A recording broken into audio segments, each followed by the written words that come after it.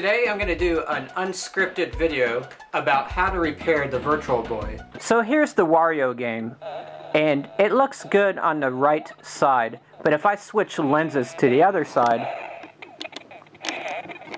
you'll notice there's no image at all. This is a common problem for the Virtual Boy system. As you can see, the right display is also glitching out. So basically, I gotta repair both sides. The first thing I'm gonna do is make sure that the power is unplugged. And I'm gonna do it by just unplugging this right here. And then I'm gonna remove the stand. I'll go ahead and remove the game as well. Now there's security bits, or security screws, inside this. And some of them are very deep. So it takes a special screwdriver.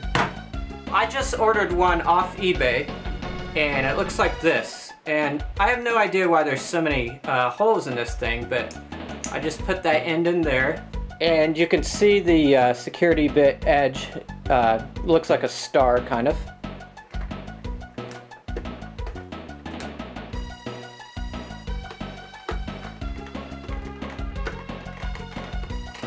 Okay, so it took forever for me to get the six screws out. It was mainly because I couldn't quite see if I was actually turning the screw or not. As you stick this down into the chamber, it's hard to get it exactly centered where you're actually turning the screw.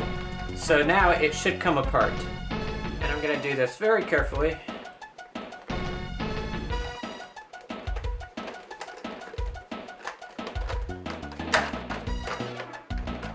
Try to anyway. Okay, so that came up. And that's what the inside of the Virtual Boy looks like. While I'm in here, I'm gonna blow away some of the dust.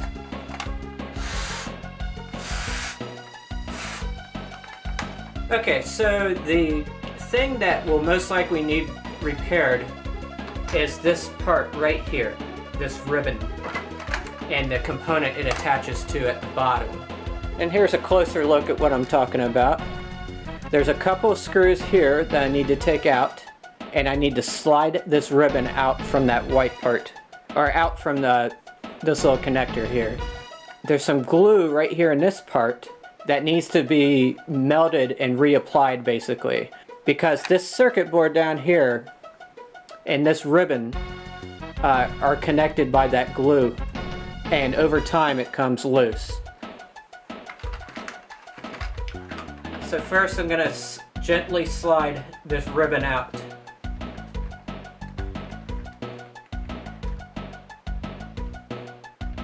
And now I'm going to take a Phillips screwdriver, a very small one, and screw these screws down here. If I can just center it in the screw. There we go. Oh, that slid. Wasn't expecting that. I believe that sliding is an adjustment you can make with one of the levers on the uh, Virtual Boy. It's going to take that tiny little screw out. This other screw, it's kind of hard to get at. You got to turn your screwdriver at an angle because there's a piece of plastic right here. I don't want to take this thing apart any more than I have to. I imagine I can take this uh, this plastic part off, but I don't want to do that. There's a lot of complicated things in here. Once again, it's kind of hard to tell if you're actually turning the screw or not until you actually see it coming out because things are so tiny in here. Uh, but I just got it loose.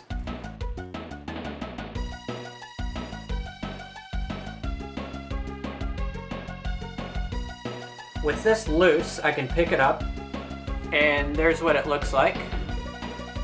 But once again, what I'm doing is repairing this glued on section right here. I'm gonna take a heat gun at 250 degrees and just blow on this part right here. Okay, so I got the, uh, the piece suspended in the air there a little bit. And here's the heat gun. I'm gonna turn it on. I said I'm gonna turn it on. There we go. And I'm gonna lower the temperature to the lowest setting possible, which is 250. Okay, with that warm, I'm now going to take a screwdriver edge and just mash that down a little bit. So hopefully I got a better connection to the uh, circuit board, but I might have to go through this process several times.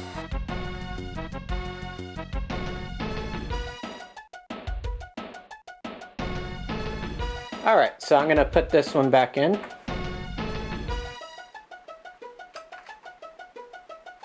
And I'm going to put the ribbon back in carefully.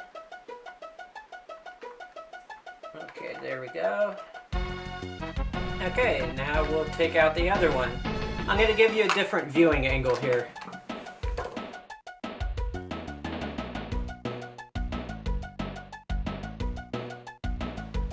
Okay, so I'm going to take this tiny little screw out right here.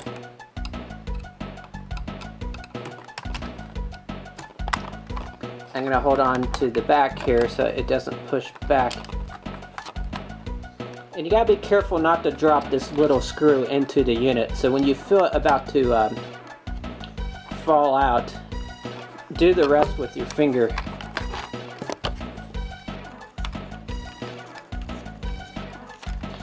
This screw is attached to a wire, I guess it's the grounding wire here. And I'm just going to leave it attached to that grounding wire.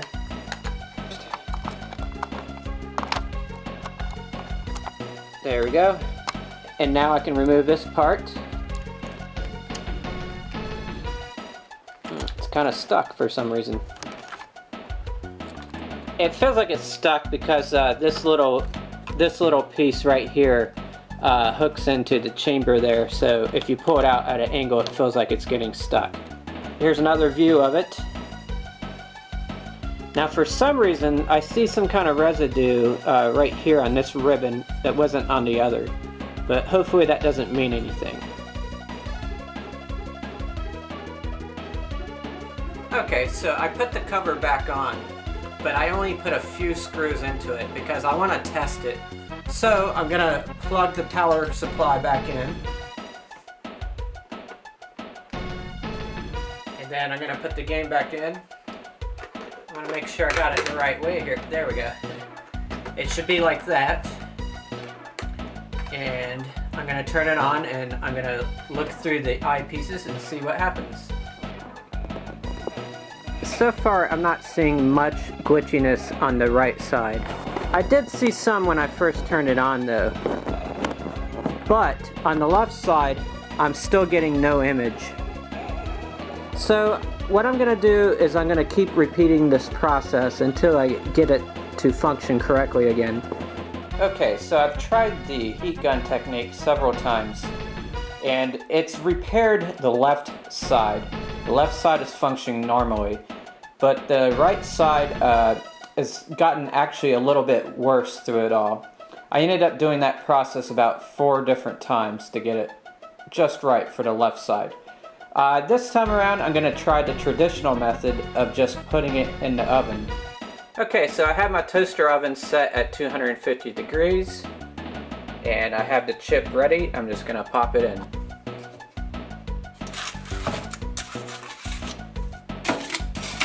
Dirty in there. And I'm just going to wait a few minutes and I'm going to take it right back out. Okay, so I'm removing it. It's very hot. I'm to turn it over. I'm to smooth out the connections. Let me find a tool here. Actually, I'm using a fork, the end of a fork.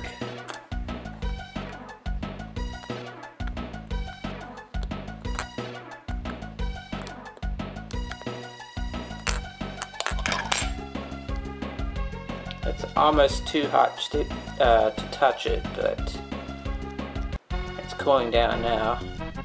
So I'm gonna pop this thing back in and see if it worked. Okay, I've tested it and guess what?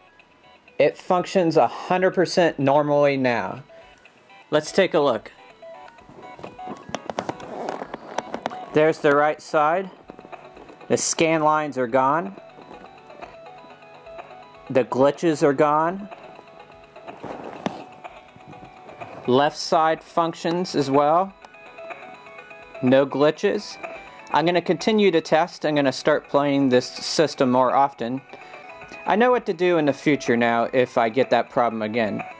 If you have the same issue, I suggest you go straight to the oven technique and not use the heat gun. I believe the oven sp spreads the heat a lot more evenly. Thanks for watching the video. I'll see you next time.